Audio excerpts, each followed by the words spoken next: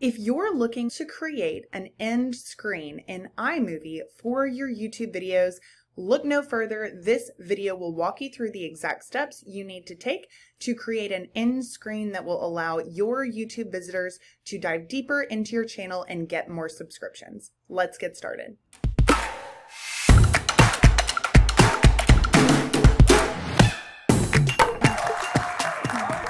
First thing you'll want to have is an end screen design.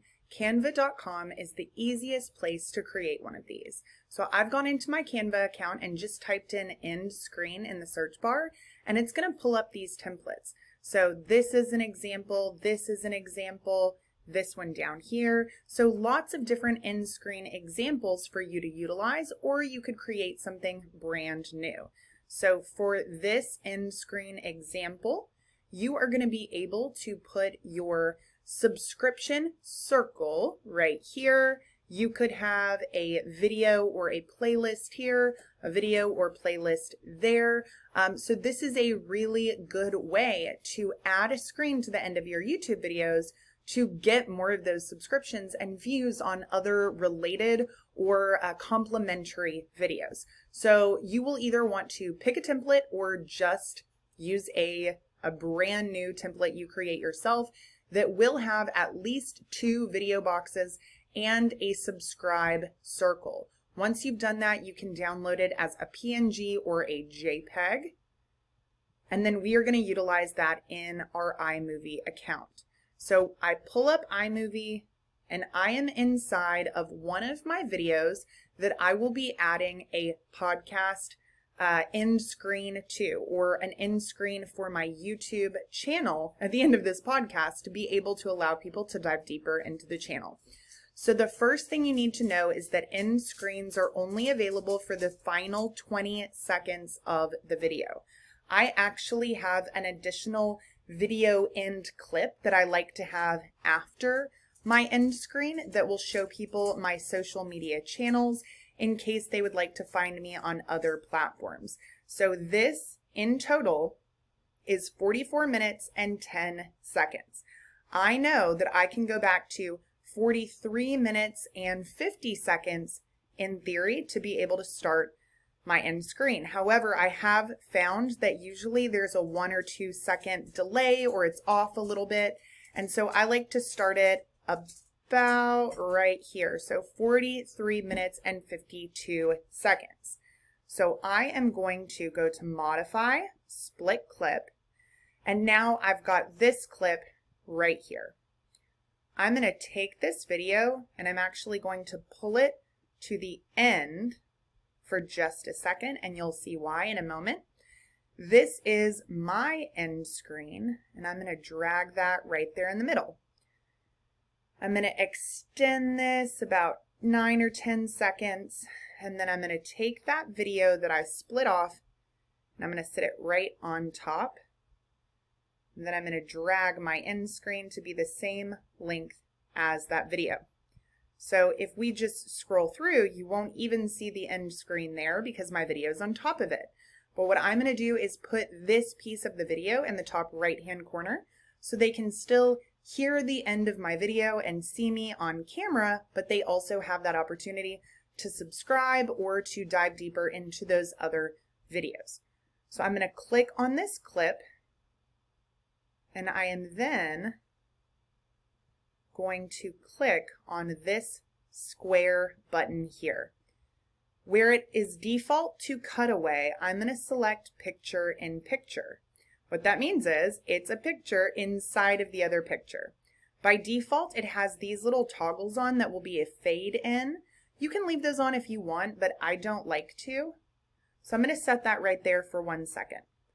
I'm going to click on my end screen and I am going to click on the crop button and I'm going to make sure that it's set to fit so that it won't be moving, um, you know, going in or out in terms of the zoom, which is by default set for new clips, and that is just Ken Burns. I'm not sure why it's called that, but that's what it's called.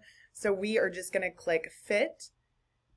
We will also make sure that this is on fit. And then again, I'm going to go to that picture in picture. And then I'm just going to resize that video frame to fit in that little box. So now you'll be able to see what this looks like business in terms of revenue. So hopefully this has been awesome for you today. I look forward to hearing your stories about the results that you've seen with lead magnet campaigns utilizing this strategy. Have a great day. So I'm happy with that. I do not need to do anything else inside of my end screen here. I'm going to hit File, Share, and I'm going to export this as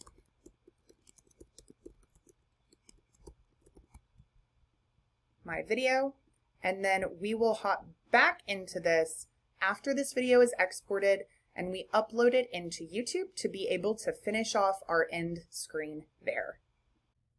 Now we are going to upload our YouTube video to YouTube to be able to fully add our end screen details.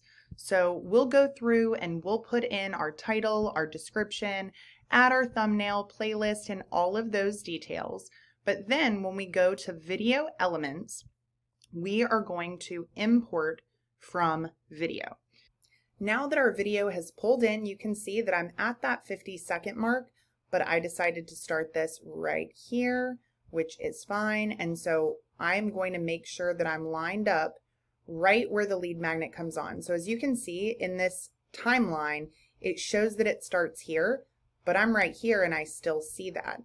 And that is important, but we just want to get it lined up exactly where that lead magnet screen comes on. Now I'm going to click in that center. I'm going to click on subscribe. And I put mine right there. Now I'm going to click on this square and select video. So you can decide what type of video you want your most recent upload, best for viewer, and this is not necessarily on your channel alone, it could be on any channel. However, YouTube really likes videos that keep people on the platform longer, so best for viewer can actually be a good option for you, even if it's not sending them to a video on your channel. Or we could choose specific videos. So I am just going to do best for viewer on this one. And right here, I'm going to click playlist and I'm going to select my Marketing Inc. podcast playlist because that is what this actually is. So now if I click back to the timeline, you can see that it automatically added those elements back into that 20 second mark, but I did not go all the way to the 20 second mark. So what I want to do is again, just drag this one to that screen where my end screen begins. Looks like right here is the beginning. So I'm going to move that first one over and now I, I know that I can just drag the other two over to that same exact spot. Still do amazing things for your business in terms of revenue. So hopefully this, there we go. So I played it to make sure that it is showing up only when the end screen begins.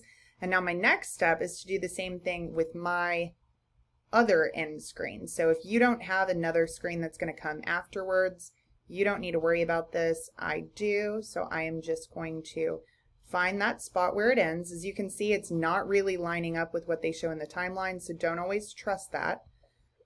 This is going to be the very end for me, and so I'm going to have to try and just go back over here and double check that to make sure I get it right. There we go. I'm going to drag that one there. And now it's easy to drag the other two and it'll just kind of snap in line with that first element. So we'll watch this one more time in terms of revenue. So hopefully this has been awesome for you today. I look forward to hearing your stories about the results that you've seen with lead magnet campaigns utilizing this strategy. Have a great day. All right, I am happy with how that turned out. I'm gonna hit save. I've already added my details and now we can publish this video knowing that we have a way to drive our viewers into additional playlists on our channel, other videos that may be a good fit for them, which still may allow YouTube to rank our videos highly if it's keeping people on the platform, and get more subscriptions to our channel from those existing videos. Hopefully this was helpful and subscribe to this channel for more tips and tutorials just like this. Have a good one. Bye bye.